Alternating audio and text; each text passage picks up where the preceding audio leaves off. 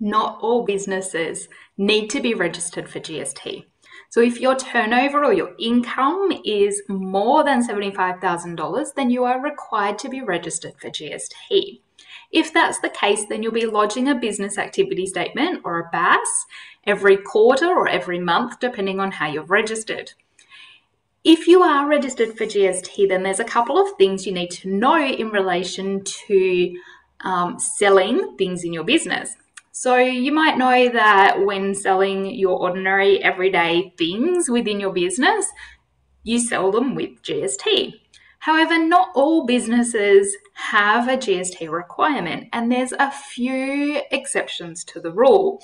And these exceptions to the rule have been around since the year 2000 when the legislation came in, and then there's been small tweaks along the way.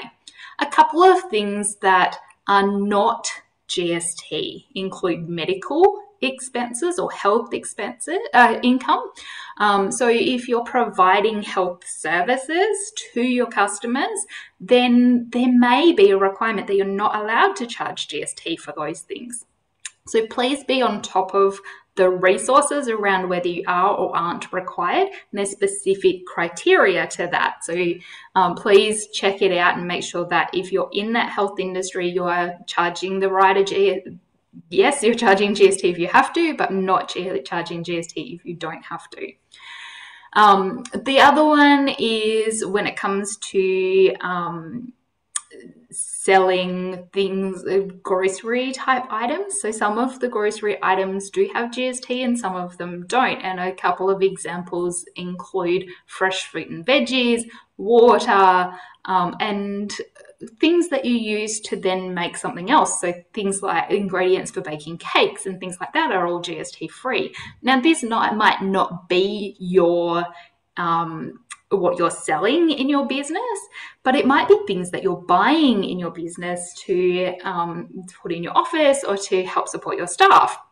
And so it's really important that you understand that there are different GST requirements based on different things. One of the things that really catches out some of our clients is forgetting that if they're registered for GST and they go and sell a vehicle that's in the business or some furniture, that they need to charge GST on that as well. Now, if you're dealing with a car yard, that's nice and easy. They generally ask that question. But if you're selling a vehicle to somebody on the general public, they don't know, they don't even ask, they don't care if you're registered for GST or not.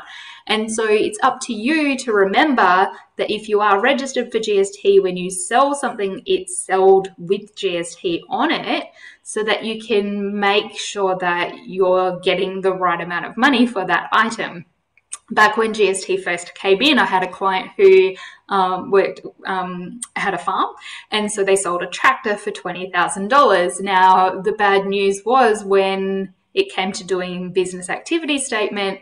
I told them they had to pay another $1,800 worth of GST on that tractor that they didn't account for because they didn't think that it was business income anything that the business owns, that the business sells, if it isn't exempt from GST, like that health and, and food type stuff, then it has to have GST on it.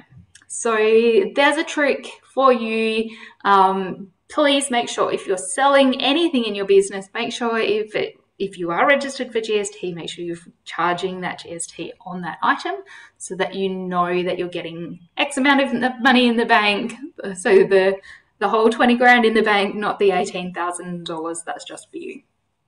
Hopefully, this tip helps you understand GST a little bit more, and I will be sending through or recording some more GST videos in the near future as well. Thank you.